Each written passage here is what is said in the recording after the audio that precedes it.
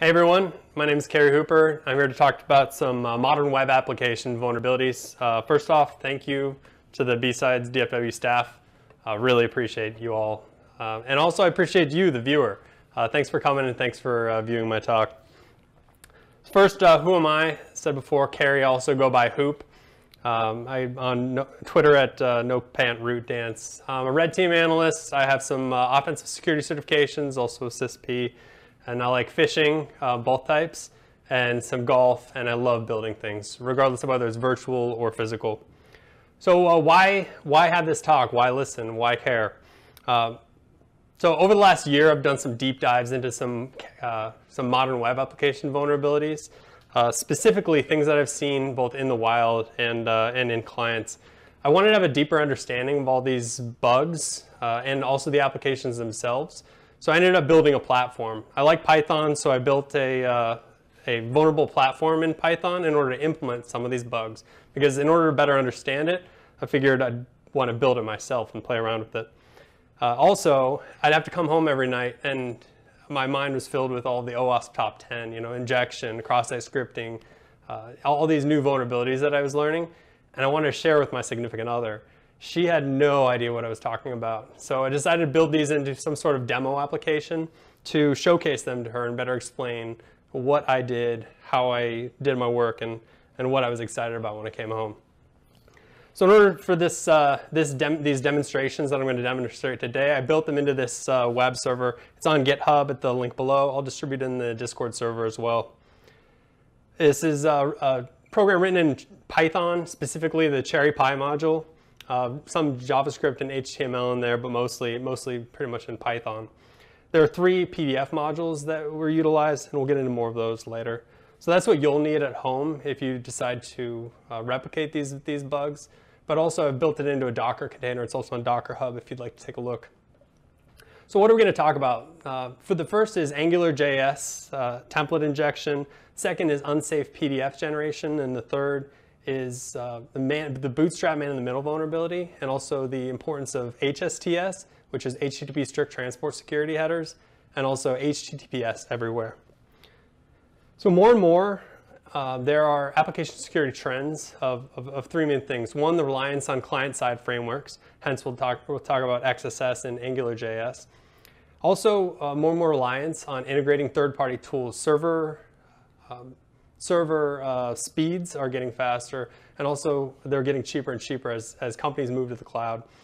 So the server load isn't as much of a big deal anymore as it was 10 years ago. Therefore, application designers can input these third-party modules without any additional uh, decrease in speed or efficiency of the application.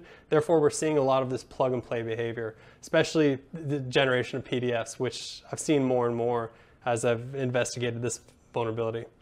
And last, as the network attack surface is shrinking, uh, network security perimeters are being more hardened, uh, we will see more and more uh, client-side or, or uh, attacks as evidenced by the, the data breach investigation report from Verizon. Phishing is becoming a, a greater attack vector, but I believe we'll see more man-in-the-middle attacks, especially with all these misconfigurations.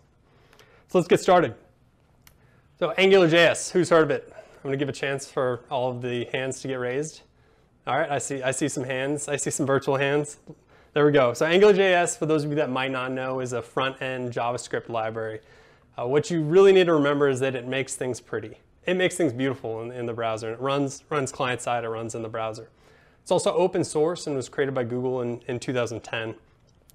It is different, though, from technologies such as Angular, uh, Vue, React, though they, they do very similar things. They're, they're all generally MVC frameworks, Model View Controller frameworks and they run in the front end, they run in the browser.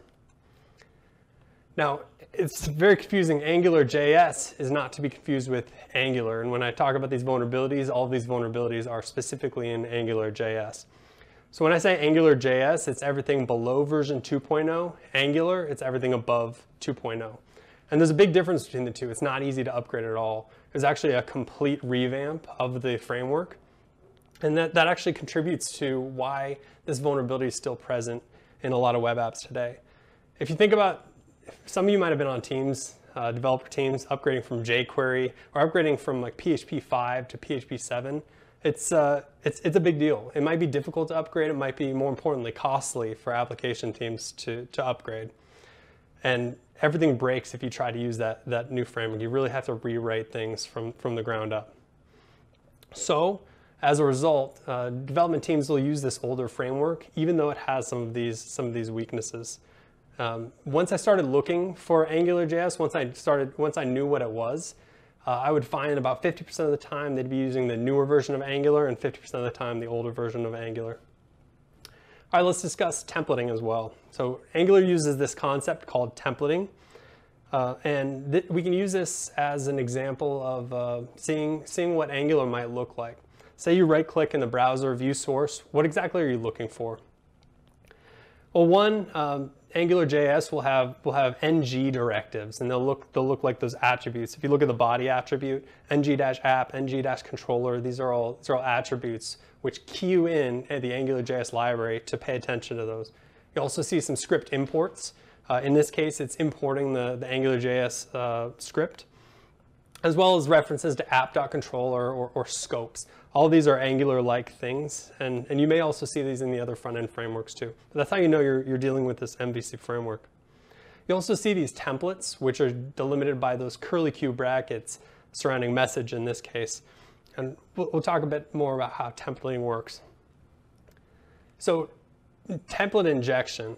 So these templates are, are present within the page and the JavaScript library replaces those on the fly with that JavaScript uh, logic. Some of you may have heard of server-side template injection, maybe, maybe not. Uh, I encourage you, if you haven't, look it up. Uh, look up on Payload all the things. Let's Google it. There's a ton of good write-ups on that. But essentially in server-side template injection, user input is handled unsafely by the server-side templating engine. Some examples of this would be Twig, Jinja 2, uh, or Velocity. However, in client-side template injection, it's the exact same thing. Untrusted input is being handled by that client-side library, by JavaScript, but it's also being executed by the, the templating engine. So the result for server-side template injection may be as bad as uh, what? I'll give you a chance to, to think in, in your heads. What, what might it result in? Some of you might know. RCE, remote code execution. You can execute code on the server. But in contrast to that, client-side template injection, remember it's JavaScript only. If you can execute JavaScript, the result is going to be cross-site scripting. So through this injection technique, we're able to inject uh, JavaScript into the client browser, into the victim's browser, a lot like reflected or stored cross-site scripting. So putting it all together, AngularJS template injection deals with templates. There are certain expressions that are delimited with these double curly Q brackets, and these are replaced at runtime. The JavaScript library is accessed, and that, uh, that object uh, and, the attribute of the object are replaced at runtime. Now, this attack was uh, introduced by Mario Heidrich in 2016. Uh, also, also works for Cure53. So six years after this front-end framework was actually created, uh, Mario came up with, with this injection technique. And the reason why this works is because he was able to access uh, objects within JavaScript and draw off their, their primitives in order to uh, construct uh, payloads that would, that would result in client-side code execution. Now Angular actually, the AngularJS team introduced a sandbox to, to help prevent some of these attacks. After Mario gave his talk in 2016, 2017, uh, September 2017, they came up with a, a, sandbox, which attempted to limit the scope uh, in which these JavaScript objects could, uh, could operate.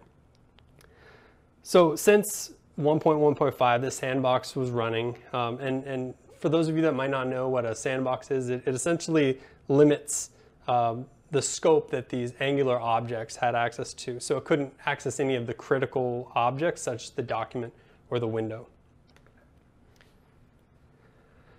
Since, uh, since the sandbox was created, there were multiple, multiple, multiple sandbox bypasses um, I've, got, I've got this link. I'd encourage you to take a look at this article. Great article, great link containing all of the known, uh, at least all the ones that I know of, the sandbox bypass of the AngularJS.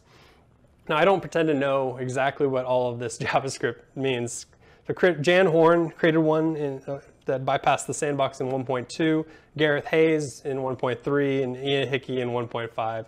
And all of these were just ways of breaking out of that sandbox context in order to access that primitive uh, JavaScript uh, objects in order to execute code.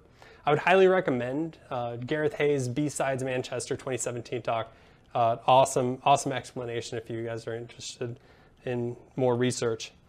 And finally, uh, version 1.6 bypass came out. Mario Heidrich, uh, the original creator, came up with this, this primitive bypass constructor.constructor, which was the, the, the nail in the coffin for AngularJS. And actually after this, the AngularJS team didn't even create the, they didn't um, implement the sandbox anymore. They threw it away and uh, basically threw it in the garbage. So that why were they able to bypass this in so many different ways? Um, that's mainly because JavaScript is weird. JavaScript is so weird. Anybody who has programmed uh, in, in, JavaScript knows this. So uh, Brian Heisel uh, presented presented this topic in uh, Augusta 2018, and he, he talked a little bit about quoteless strings and JavaScript types. In the, in the top box there, it's the, the exclamation point with two square brackets. Now JavaScript interprets that as the Boolean value false. It also interprets just regular square brackets as an empty array or possibly an empty string. And he showed that by concatenating them together, by adding those together in JavaScript, it actually equals the string false. Yeah, JavaScript's weird. So with the string false, you can then access this, the string primitives or the string um, functions. You, you can uh, call this from charcode method and come up with many, many different ways of executing arbitrary JavaScript code. Someday I hope to understand exactly why all of these are the way they are. If you know, let me know. Um, I'd love to learn a little bit. Uh, just understand JavaScript is really weird and many times there are dozens of way to, ways to accomplish the same thing. So that's why there were, there were many JavaScript bypasses. Uh, the sandbox was eventually abandoned and the AngularJS team said that it wasn't actually meant for 100% security. And so what's the remediation? We'll talk about that after the demo. So this is my AngularJS app. Uh, it's a hello world type app that basically takes in one parameter from the URL, a get parameter, and it places it within the, uh, within the DOM. Pay attention to those three uh, red boxes. This, these, are, these are hallmarks of an Angular app. You've got the ng directives, you've got the Angular import, you've also got references to controllers uh, and scope. You can also detect this with a really cool tool I want to introduce called Wappleizer. It's been around forever. Some of you who are pen testers might know about it. But it's a, uh, it's a browser plugin that plugs into both Firefox and Chrome. And it can detect exact versions of certain things running on websites. And it's great if you're doing bug bounties as well. Anyway, so this, this application takes in untrusted user input and puts it directly in the, into the page. Some of you might see this and automatically think, hey, that's some reflected cross-site scripting right there. Let's, let's test it out. All right, I'm going to mirror the screen. And let's check out the demo. So I've got the demo here. This is a uh, this is the app running on localhost. As I refresh the screen, you might be able to see um, those templates reflecting within the page. For that split second, the JavaScript hasn't executed and, and the template is, is visible to the eye. Obviously, we've got some reflection going on. This Burp Suite would call this uh, reflect, input reflected within the HTML. We can change the, the, the name in order to, uh, to change the name that's presented in the page. But what evil things can we do with this? Well, some people might try uh, putting in a, a, script tag in order to try to execute HTML. But as we see, the, the script tag didn't execute. It was just reflected into the page. Well, looking at the source, we might we'll see that in, that the, uh, the application is putting some input sanitization in place. It's actually sanitizing those angle brackets and replacing it with the HTML encoded um, ampersand greater than semicolon. So how do we get around this? We can get around this with AngularJS XSS.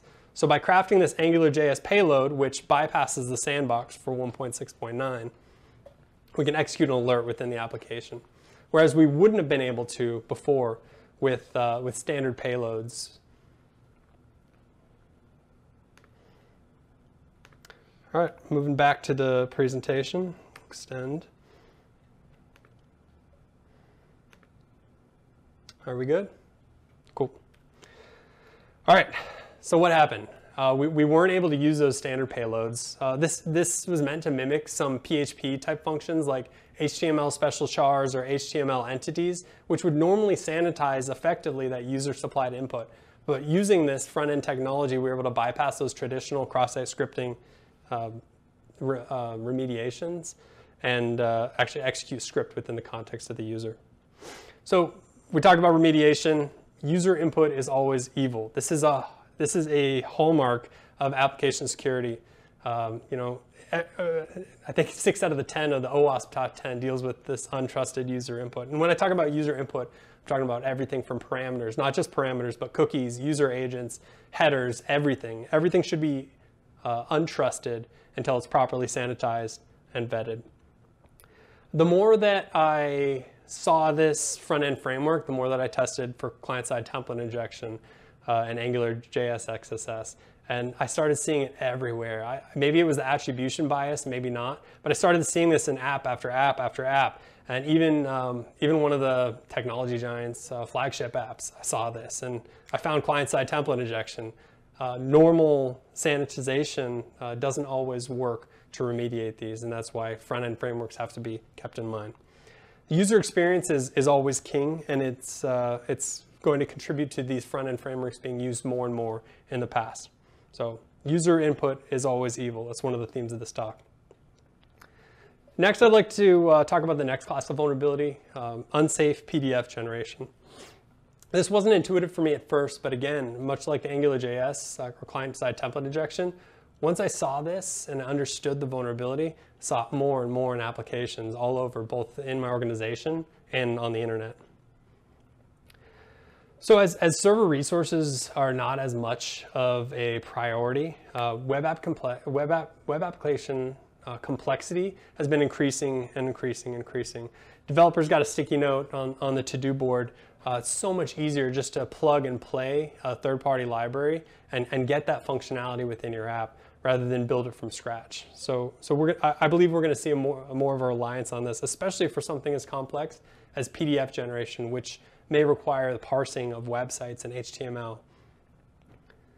However, uh, the inclusion of these third-party libraries may uh, also include those security bugs or, um, or short-sightedness on, on the, um, from the developers and the security teams. Maybe, maybe they didn't uh, think about the whole picture before including these in. So in order to talk about this, we first need to discuss server-side request forgery, I know many of you may be familiar with this already, but I'd like to, I'd like to discuss, uh, just make sure we're all on the same level. So typically in a server-side request forgery, um, the client or the browser is able to send a certain request to the server and cause that server to make some sort of other request. Usually this is an HTTP request. So if I can contact the uh, web server in the cloud and cause it to make an HTTP request, that would be a, a, an example of server-side request forgery. And so what can you do with this? You can, you can bypass firewalls, you can scan ports. It also, you can also access localhost data, sometimes secrets, sometimes AWS metadata. Um, this was uh, showcased in the, the Capital One breach a, a couple years ago. Capital One's cloud platform was able to be uh, completely taken over. At least their cloud account was taken over by a server-side request forgery in the cloud. So SSRF can be incredibly powerful. Um, it's, it'll, it, will I believe it'll fall in with the OS top 10, specifically A1 injection. And uh, Orange Sai really took this to the extreme eh, to demonstrate how big of a deal uh, SSRF can be in the form of protocol smuggling. I encourage you to, to take a look at this blog after the presentation. This is one of the uh, screenshots from his blog. He's able to chain together four different weaknesses in order to uh, result in code execution on the remote server. I, I, don't expect you to understand all of this, but just I'll give you the high notes here. The first bug in red is a harmless SSRF. It's, it's constrained. That is the, uh, the, the URL um, encoded, um, the, the, URL, the, the URL encoded resource was just kept as such and wasn't treated as, as bits and bytes. It wasn't URL decoded. However, he was able to chain this with a second SSRF bug in light blue, and there um, that was an unconstrained bug. Using that unconstrained SSRF, he was able to manipulate that with the use of URL encoding and that UR, the URL encoded bytes were decoded by the server, and then he was able to uh, smuggle that additional protocol in, um, and eventually resulting in unsafe serialization, uh, unsafe deserialization in a Ruby gem. Highly encourage that blog post, one of the best I've seen. Well, two, two security researchers, uh, both at the time, uh, I'm not sure if they still do, both at the time worked for, for HackerOne. Um, they, they presented on this topic in DEF CON 27, owning the clout uh, through uh, SSRF with PDF generators. This was Ben Sadeghipour, uh, aka Namsek, and Sarah Brocious, aka Dakin. And they did a really good job. I'd encourage you to, to take a look at that talk. It's on YouTube as well. They, uh, they discussed, um, they discussed a, a, story about how they were able to um, they were able to hack a ride sharing app. They found that the ride sharing app uh, put in uh, or gave them invoices in the form of PDFs, and their user input was able to be was was taken trusted and put into that PDF, and they were able to manipulate the HTML that was being rendered. Well, they figured out if they were able to manipulate the HTML, they were able to possibly inject script tags or break out of style tags. And eventually they found the SSRF. They read the manual extensively on the actual PDF generator that they were able to find, which, uh, which I believe was, um, was, was WheezyPrint, the one that they exploited and they found, a, they found these bugs. They were able to own the entire cloud environment by accessing the metadata. Strongly encourage watching their talk. So there's uh, many PDF generators online. Just Google free PDF generation online. There's a good chance that they're going to be generated on the server side, and uh, I would guess that many of them are vulnerable. PDFs are everywhere. Users love PDFs. App, application teams love PDFs. Uh, I guess our society is just in love with PDFs. I see them everywhere. So uh, how, how does it work generally? Well, in order for a PDF to be created, uh, either there's either going to be an image that's going to be put into the PDF format or it's going to render that HTML. And there's two ways to do this. One with HTML renderer and one with a headless browser. I'll get into both uh, on the next slide or two. Just a quick Google search for free PDF generator. What do we get? Two, 242 million. Uh, that's, that's a lot of results. So the difference between a headless browser and an HTML renderer. Headless browser is generally like a browser without a GUI. Some of you might have heard of Puppeteer, Headless Chrome. Um, those are the ones that come to mind. And it typically executes all the JavaScript to, to correctly render the page. Now, on the other hand, an HTML renderer, uh, it, it, parses the HTML without, without the logic of a, a browser engine. And typically, I say typically because sometimes they do, it typically doesn't execute JavaScript. However, for both of them, when they're rendering PDFs, untrusted HTML is bad, and at a minimum, uh, if parsed, if parsed untrusted HTML, uh, it can result in SSRF.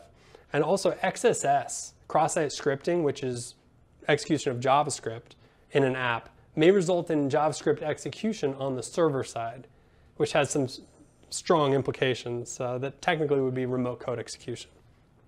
So I've got three examples I want to walk through, and I've got three examples that I'd like to demo. Uh, the first is uh, using an open source library called WK-HTML to PDF.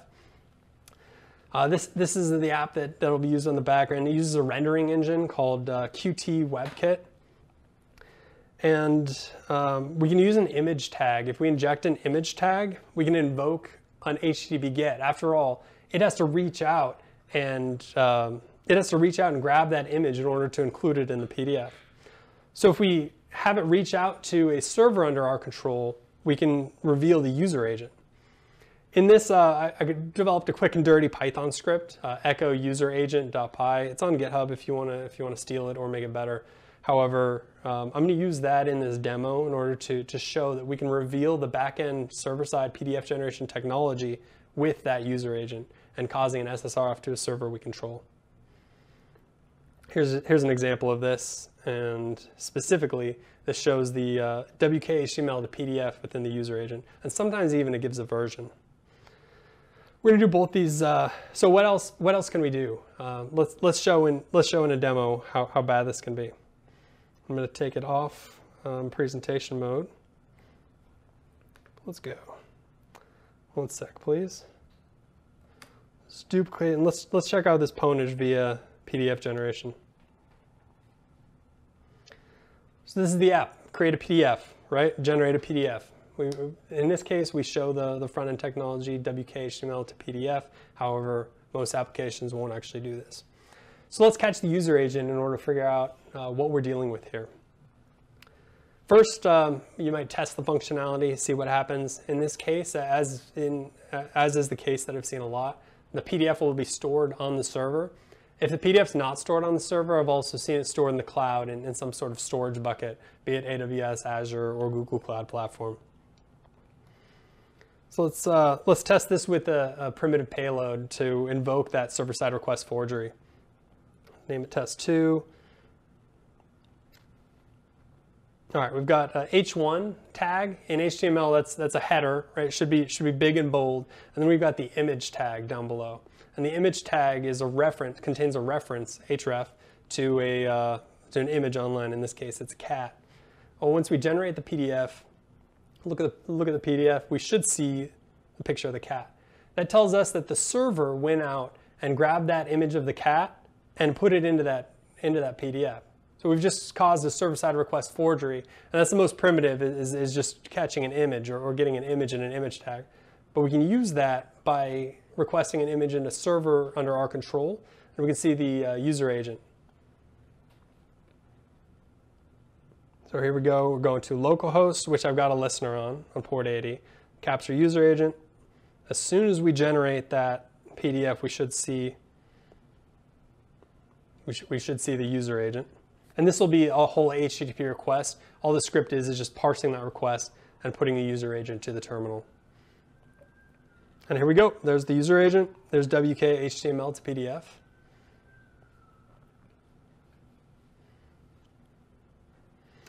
All right, but how can we take this further? Uh, what, what are we worried about? What is our nightmare scenario with the server-side request forgery? Now, this is just an HTML renderer.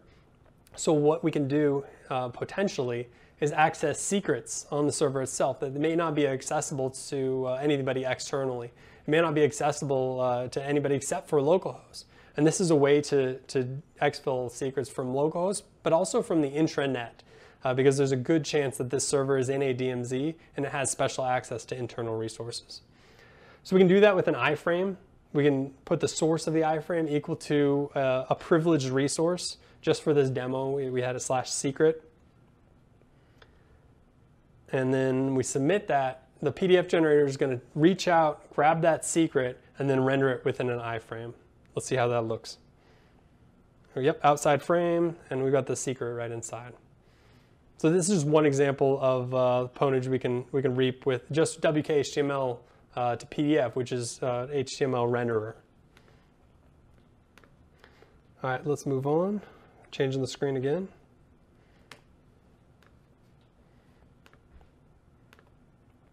All right. All right. What's the next baby we can kick? Oh, this one was kicked before at DEF CON 27. Uh, this was WheezyPrint.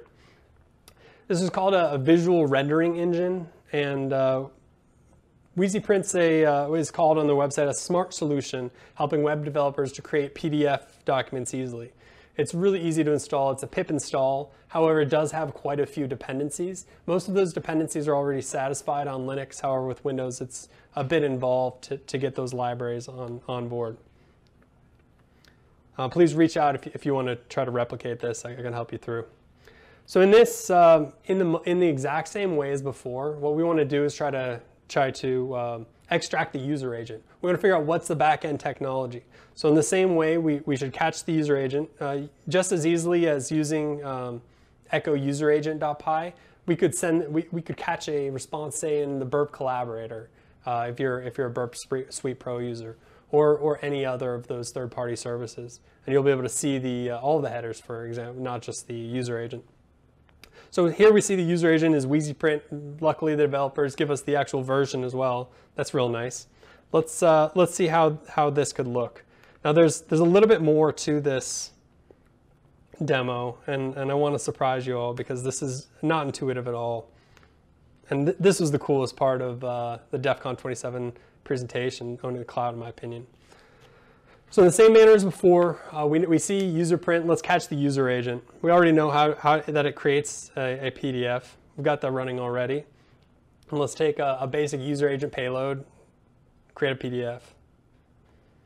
All right, at this point, the browser is, is going out and it is, uh, excuse me, the, the backend WheezyPrint is going out and grabbing that, it thinks it's an image, and uh, we capture the user agent, WheezyPrint47. Now, one of the cool things about WheezyPrint is that it, uh, it gives the developers the ability to include local files. This is not intuitive at all. Uh, so given a crafted payload, um, we're able to include a local file as well. I want to show you here that the, the iframe payload doesn't actually work with, with this particular um, headless browser. The iframe just shows up like, like garbage. Well, let's try to include a local file. In order to do that, um, we're going to use an A, A tag in HTML, also called an anchor tag. And I've got the payload right here. Let me paste it in.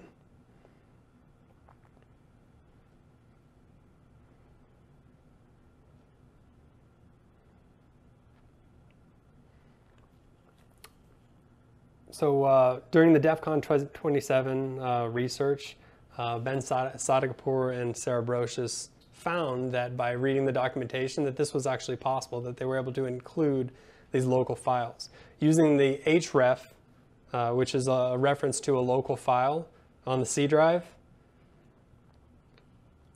when the PDF was generated, it, was, it actually showed up as, as a link. However, the file was embedded inside the PDF. Let's see that in action. I'm going to use a, uh, a script. I'm going to save this, this PDF locally. Then I'm going to use a script that goes through and parses the PDF object, extracts all of those encoded uh, objects within, and then decodes them. And, and hopefully we'll be able to see the file that was embedded inside the PDF. First I'm going to save it locally. And then after that, we'll, uh, we'll, we'll, decode it. And there's no encryption going on here. This is just a flate, a flate, a flate encoded file. And here we see the, uh, the password file that happened to be on this, in this temp directory. Really cool, right? Now, uh, I mean, in a terminal is cool and all. Um, let's, let's move the terminal out of the way and we can see, if I click on the uh, actual link in the PDF document, you, uh, you'll be able to see that we can download the file directly from the PDF with that, uh, with that file href. There it is. Really cool. All right. Moving back to presentation mode.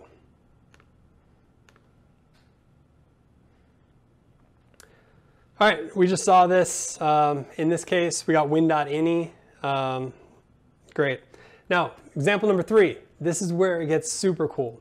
Uh, I don't have a demo for this one, but I'd, I'd like to show you in, uh, in these screenshots.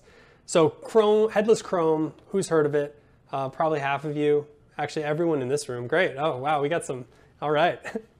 we, got, we got some techies in this room. All right, so th this is basically just chrome.exe with the dash dash headless flag. This was shipped by default in Chrome 59 and 60, so there's a good chance if you're using Chrome right now, you can use it with the headless option. And I've actually seen this more and more in web applications, specifically Chrome, uh, because it's so easy, it's plug and play.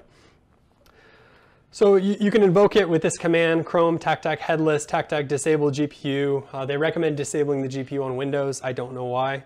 And then the print to PDF option goes out and it sends Chrome to a website or a local HTML document, and then it creates a uh, PDF out of it. And this is a full featured headless browser. So this is how it might look um, in the, uh, when we catch the user agent, it will actually say headless Chrome. It doesn't use the traditional Chrome user agent, which I think is pretty cool and it, it renders the PDF uh, like that as a non-existent image. So this is a full feature browser. This can do everything a regular browser can do. So what can we do with it? Can we do job, JavaScript execution?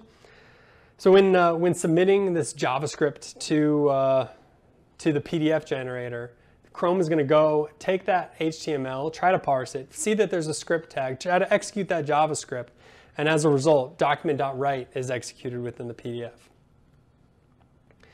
you can do a lot more than with, with this. And I'm, I, I, don't have, I probably don't have to explain to most of the audience members. Uh, we now have code execution on the server in the form of JavaScript. So you can do things such as uh, utilize the request API. For example, in this, in, in, using the, uh, the fetch API, the request interface of the Fetch API. We can create web requests. This can request an internal document, fetch it, and then with that, do something with the response. For example, um, you could take you could then take that response, send that out to an exfiltration server. You could send that to a Burp collaborator instance. You could send that anywhere you want. And not only that, you could do this programmatically and try to access all of those internal endpoints. Hey, maybe all of the all of the ports on those external and internal endpoints. Um, and you could really wreak havoc, especially especially given unbridled access to uh, execute JavaScript on a server that is in the, in the DMZ. There are some limitations of that. Browsers have internal security mechanisms. One of those is called the same origin policy, or SOP. So an origin in um, HTTP is a, is a tuple of a scheme, a host name or, or domain, and then a port. And those three things all make up an origin.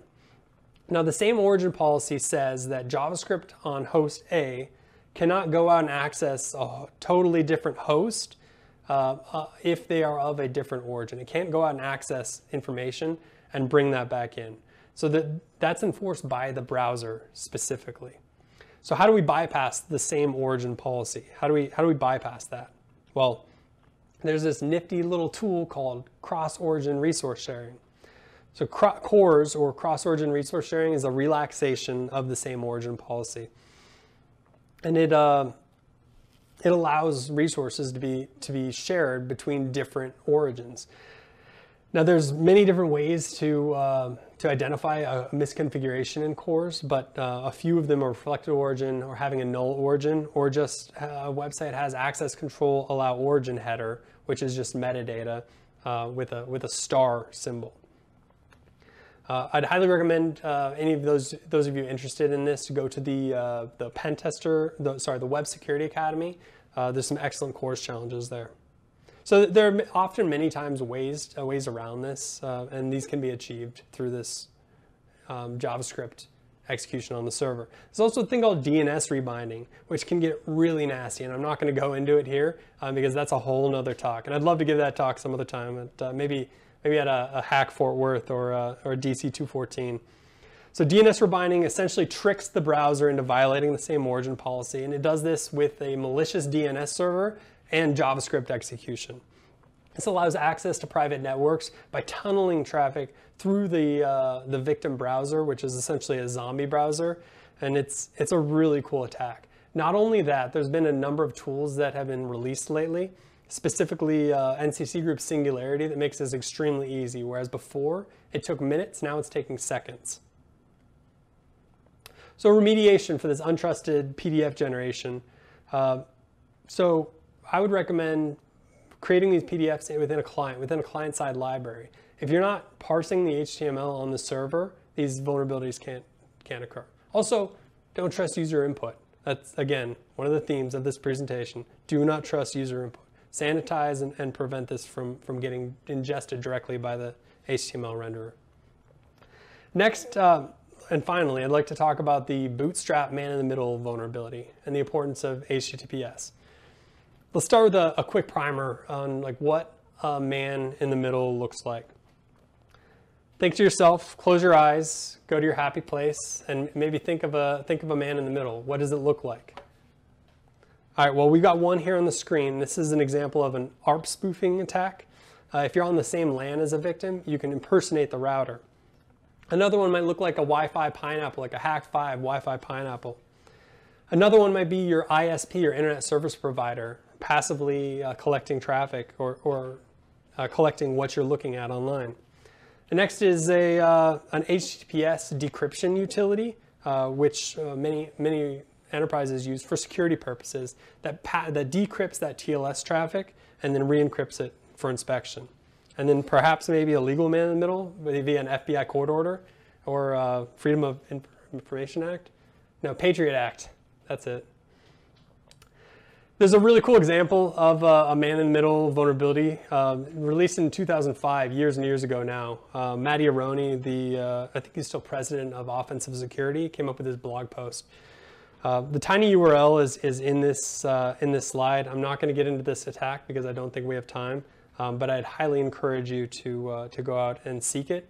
It involves spoofed UDP packets, uh, resetting the Cisco IOS router configuration, uh, enabling TFTP, and then reconfiguring it to make it a GRE tunnel with, with you in the middle. In 2009, Moxie Marlinspike at, at Moxie uh, released a tool called SSL Strip at Black Hat 2009.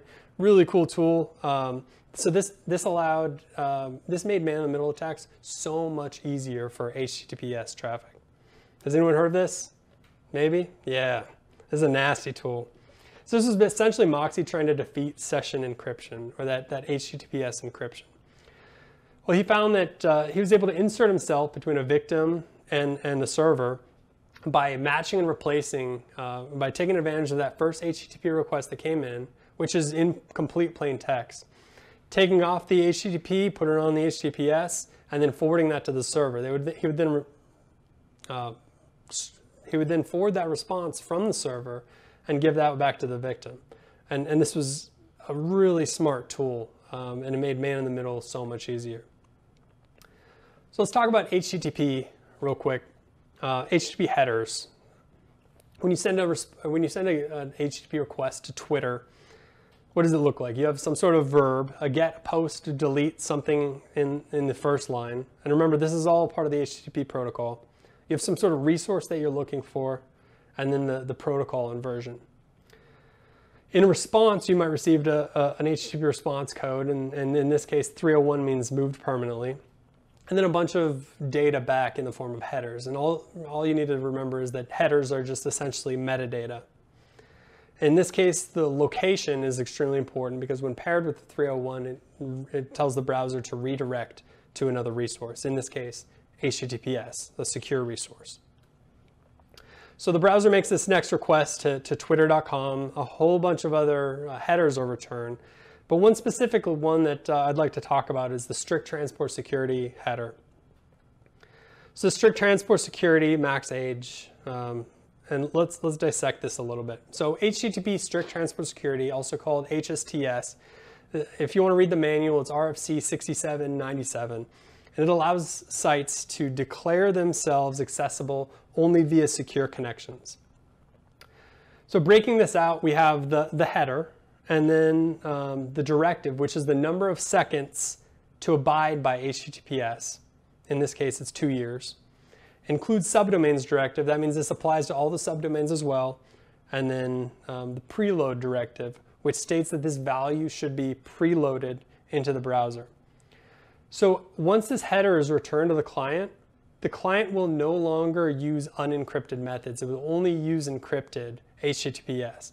And that's how powerful this is because it, it effectively prevents uh, man-in-the-middle attacks, uh, barring some sort of certificate um, or, or encryption vulnerability that could just shatter the entire ecosystem. So for example, let's talk about homedepot.com as a case study. User visits homedepot.com and an HTTP request is sent. If you type that into your address bar, press enter, if you've never visited that site before, HTTP unencrypted is going to be sent. Home Depot is going to go back, redirect you. The browser is going to go uh, grab the HTTPS, the secure version of the site, and then you're going to receive the response back. That's, how, that's generally how the flow goes. However, uh, next time you visit homedepot.com, the exact same thing is going to happen. That first request is always going to be unencrypted. Next, let's take a look at CDC. CDC does it a lot better. On the first request to CDC, user types in cdc.gov. They want to figure out what, their, uh, what, what the latest guidance is on COVID. An HTTP unencrypted is sent. They respond, hey, 302, you need to go check out the, uh, the browser needs to check out the secure version of the site. The secure version of the site is retrieved and then CDC sends that back in an encrypted channel, uh, all of the content, but with that extra HSTS header. And that extra HSTS header instructs the browser, and the browser saves this. Hey, never, never again go out and, and reach out for HTTP. Don't go unencrypted. Always trust me in an encrypted manner. So when the user returns to the site the next day, because he forgot the guidance already, that browser will refuse to send that, that unencrypted request. And instead, it will only send that encrypted request, thus protecting the user, especially if the user is on an, an untrusted network, such as uh, a, local LAN coffee shop Wi-Fi, etc. There are many examples of HSTS misconfigurations. I'm not going to get into all of them, but they're widely misimplemented on the internet. One example is Microsoft Live.com. For example, if you visit live.com, it redirects you to https outlook.live.com slash OWA, and it issues the HSTS header. So why is this an issue? Well, strict transport security, or the HSTS header, is counted per domain, and the subdomain is not the same as, as that domain. So when that HSTS header is, is, is responded, it only applies to OutlookLive.com. So the client's going to make an unencrypted request every single time they put live.com into that browser bar. So live.com is put in the browser bar, an unencrypted request is, is made. They're redirected to outlook.live.com. And they go out, get the encrypted version, and, and they're sent back um, an HSTS header. However, the next time the user visits live.com, this HSTS does not do its job because that HSTS header is never applied to live.com and only unencrypted requests will be made because of this misconfiguration. This might happen when a user gets a new browser. It might happen when a user is using private mode in some browsers, or it might happen when uh, uh, the user has it's their first time visiting a site. But this is documented in the RFC actually. It's called the Bootstrap Man in the Middle vulnerability. Uh, it's been around for at least 10 years. This has been published for 10 years, and it's a known issue. There's only one way that I, I know of, of preventing this. We'll get into that in a bit. So potentially, right today, an attacker could, could man in the middle a, a live.com visit on an untrusted network using SSL strip. Still, 20 years, or excuse me, 11 years after Moxie released that tool. So the solution to this is HSTS preload. Preload is a mechanism in which these HSTS sites can ship with the browser. The browser is downloaded and it's automatically stored. It's in the code. It's in the repository.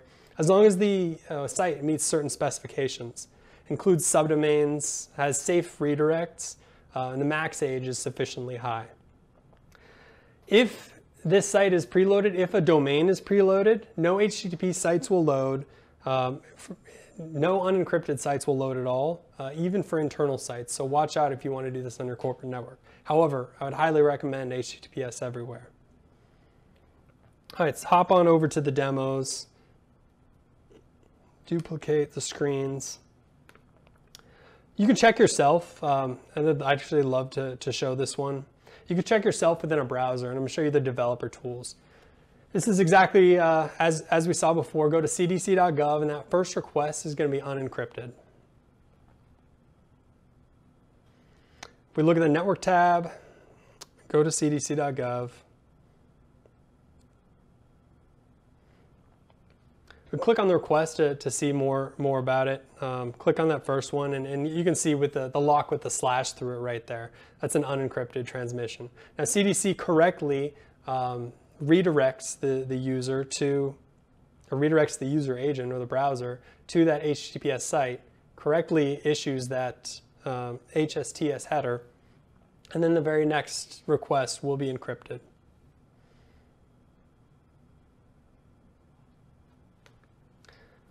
Let's show um, the HSTS preload. HSTS preload can be, uh, can be viewed on uh, hstspreload.org. It's a Chromium project. And uh, the Chromium team, thankfully, assembles all of these domains into, uh, into a repository and they actually ship with, with the main browsers. The main browsers being uh, Edge, Firefox, and Chrome. I'm sorry I mentioned Edge as, as part of those big three. I had to. Anyway, we can check this at hstspreload.org. It's got the submission requirements, but more importantly, you can check if your organization's domains are safe or not. For example, if we type in cdc.gov, it states, no, they're not preloaded, and this is why. It's doing everything right, but it's just not issuing the preload directive. If we put in live.com, there's a number of issues with that. The redirect, the, one, there's no HSTS header supplied for the HTTPS version, and the HTTP doesn't redirect correctly. So this is a good way to, to check and, and audit your website to see if it's completely safe. I've put in my website, hooperlabs.xyz, into the preload list, so it actually shipped with every browser, and I think that's pretty cool. So when we actually go in the browser to my website, the first request, even though the cache is cleared, even though even though the history is cleared, first request is always secure, and I, I think that's pretty cool.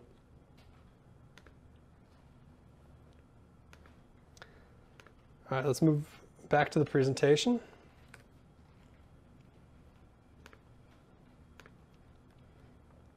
All right, remediation. Um, so what can we do to prevent this type of attack? We can implement HSTS preload, uh, but preload means security everywhere, inside your organization and out. And this mitigates many man-in-the-middle threats. Uh, it protects your users, not just the server, but it protects your users. And it requires one single header to be sent, but it can do as much as protect every single user on an untrusted connection. This concludes my presentation. Uh, these have been three classes of modern web application vulnerabilities. Uh, thank you, BSides DFW. Thank you for watching. And uh, I look forward to your feedback and I look forward to answering your questions in the Discord server. Once again, I'm Cary Hooper. Thank you.